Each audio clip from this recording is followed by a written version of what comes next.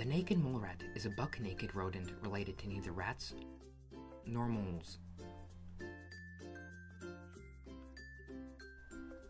The naked mole rat reigns in the Horn of Africa and is most closely related to porcupines and guinea pigs, both of whom will deny this if you ask.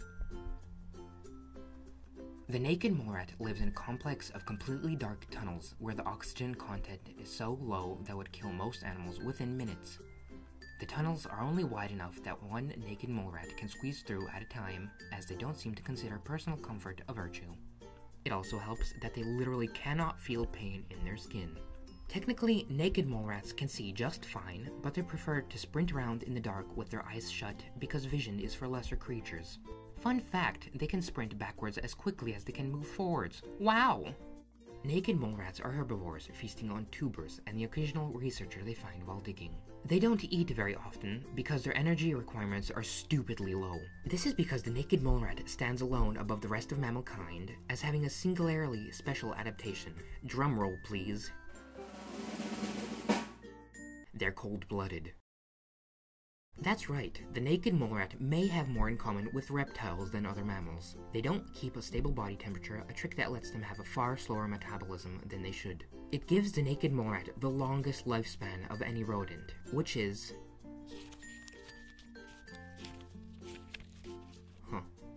30 fucking years. The naked mole rat is one of only two known species of mammal to be eusocial. Eusociality is when a species has a caste system, with each caste performing different duties. Plenty of animals on Earth do this, and you're probably more familiar with them than you think. The weird part is that most of these animals are insects.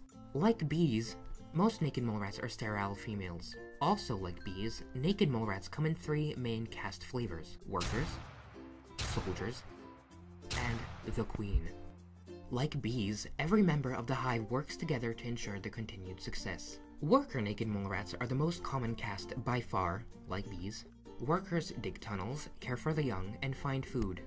The next most common is the soldier caste, again, like bees. Soldiers protect the hive from outside threats, like snakes or invading naked mole rats from other hives. When a threat gets into the tunnels, worker naked mole rats raise the alarm by screeching in terror and fleeing in the opposite direction. This summons the soldier naked mole rats, who immediately leap into action. Finally, there is the queen. She's the largest naked mole rat in the hive and rules with a tiny, wrinkled iron fist. Like bees, the queen is the only fertile female in the hive. She spends most of her time having a completely ridiculous number of babies, like up to 900 babies in her life. However, unlike bees, the queen is not elected via birthright. See, any female in the hive has a shot at being in charge someday. All she has to do is commit a little regicide first. After a new queen has ascended, she grows to enormous, for rodent, size and takes up to three mates. Soon, she will start producing stupid huge numbers of babies, and the hive will thrive again. While your feelings on the naked mole rat may be understandably mixed, we really have to hand it to them. They are the reigning monarchs of weird. A bizarre and wonderful mix of mammal, reptile, and insect traits. They are true survivors, still thriving in the face of global change. If their tenacity and sheer survivability is any predictor, they will be around a long time yet. Long may they reign.